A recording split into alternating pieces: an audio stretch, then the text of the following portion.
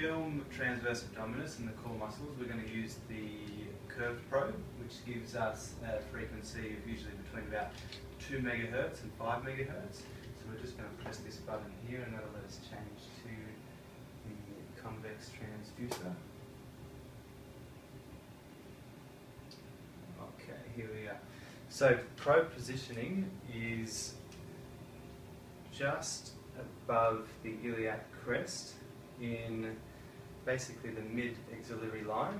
We've got the left-hand side of the screen, or this little dot on the middle here, uh, pointing to the midline, and we're going to reverse that when we go onto the other side, just so that we can get the exact mirror image for comparison purposes. So we come back to the screen here, we're going to be able to see, we'll just zoom in a little bit so we'll get our depth, and we're going to adjust that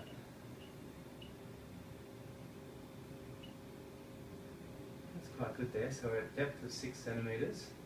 Our frequency at the moment is on 5.5, so we'll just have a quick play with the frequency here to see if we can change that to get a clearer image.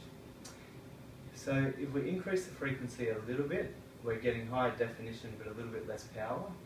Um, but I think that that's actually pretty good. We might just increase the gain a little bit there to adjust for that. Okay. So in this position, if we were to come a little bit further into the midline, we can see rectus abdominis here.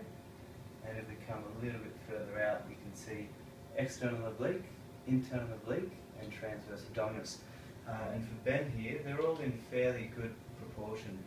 So if we're going to have a look at measuring this, and we're going to have a look at assessing the muscles here, what we can do is we can just freeze the screen. So we're going to have the mid portion of the muscle bellies around about middle of the screen. Um, we can have a look at the quality of the muscle in this position so you can see that it's nice and dark, um, probably a little bit larger in the internal and external obliques than it is in the transverse abdominis, but again, compared to most people, this is actually quite good. From here, if we want to, what we can do is come back to our image, unfreeze it, and again, with the muscle bellies in the middle of the frame here, what I'm going to ask Ben to do is just to extend his right leg, just straighten out that right leg for me, and bring it back up. And one more time. And what we're looking for here is to see which muscles are activating, and if the transverse abdominis in particular is turning on. So just go again one more time for me, Ben. And relax. So in that particular contraction, transverse abdominis didn't slide at all, and it certainly didn't appear to be any thicker than it was to begin with. We had only a small amount of activation in the internal oblique. So what we can ask Ben to do is to try draw in the belly button to try and get a transverse abdominis contraction. So just do that for me. Thank you. And relax. And you can see the TRA turning on and just sliding away from this point in the middle here. Just go one more time for me relax again. So that's a nice contraction. So what we might do now is get Ben to switch on the transverse abdominis again so that that slide across. And now keep in it there, try straightening out the right leg. Okay, almost immediately it, it switches off and come back up.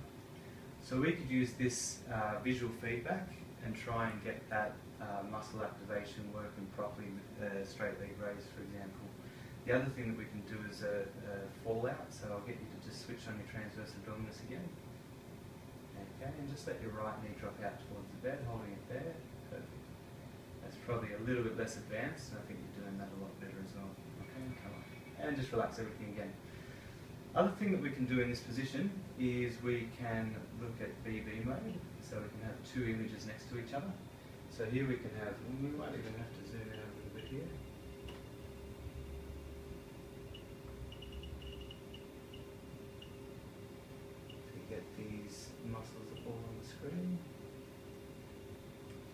Okay, so this is with Ben relaxed.